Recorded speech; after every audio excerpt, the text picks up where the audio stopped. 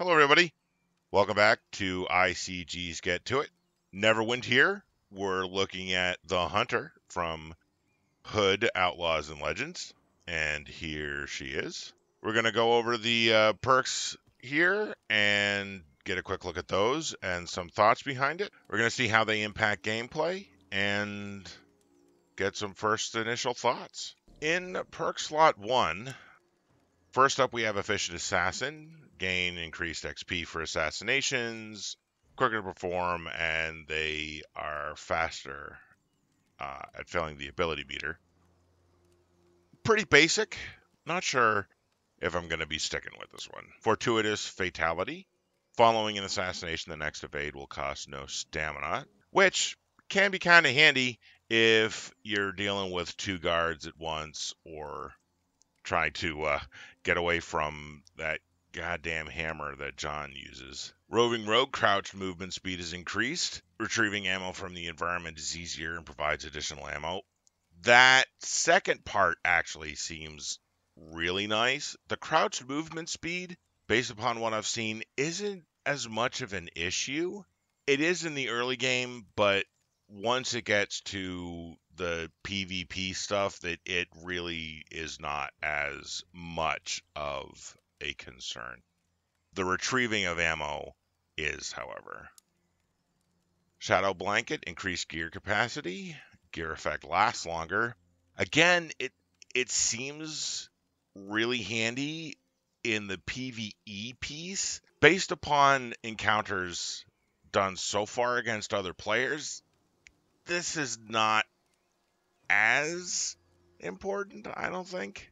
This, however, a quarrel container, extra ammo, and the total capacity is increased, is going to be really nice. I'm not sure the faster firing rate would be useful. The PvP PvE balance in this game, it it's it does not lend itself to at least at the moment the assassination stuff. So I'm not sure apart from the ammo capacity and starting ammo I'm not sure this one might will get a lot of play.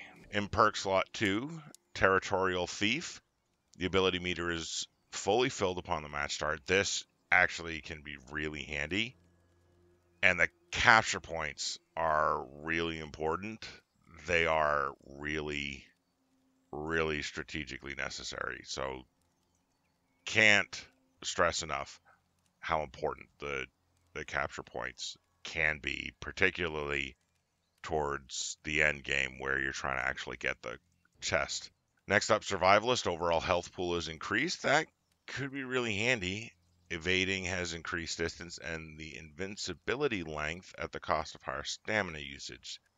Invincibility is now also active while sliding, which eh, as soon as I get better at sliding, I think that might be really handy, particularly with the higher health pool. Veiled Menace, whilst crouching in the bush, deals increased range damage and the ability meter recharges faster.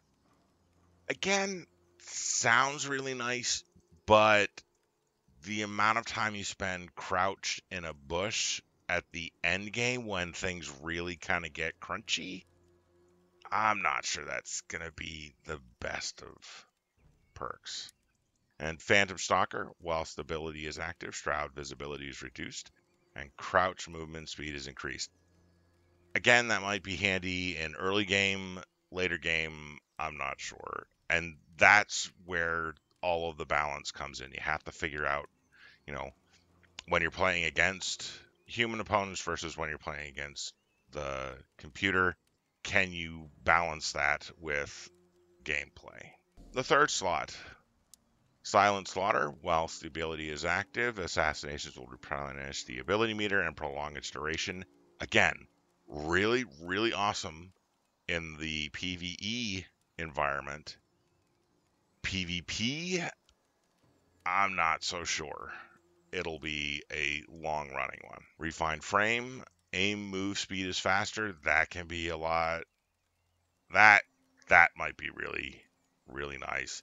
Weapon accuracy, stability, and damage is improved, but recoil and recovery time is increased. The extra damage for that crossbow is again going to be really handy at the PvP point.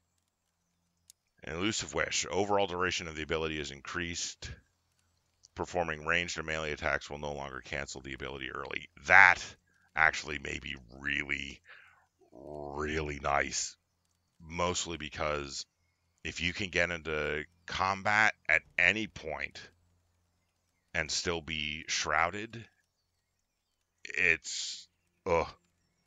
even more so than you know the silent slaughter where you can extend its duration if in that duration you can continuously be in it regardless of attacking that might be really nice so, that's a look at the perks and some of my thoughts on them and how they will play out in the game. Thanks for tuning in.